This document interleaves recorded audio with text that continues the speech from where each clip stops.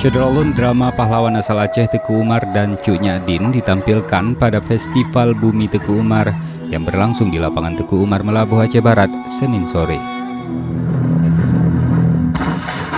Pemeran memperagakan kembali bagaimana sejarah perlawanan Teku Umar dan Cuk Nyadin dalam melawan penjajahan di Aceh. Selain drama kolosal, kegiatan ini ikut menghadirkan lukisan-lukisan karya seniman Aceh.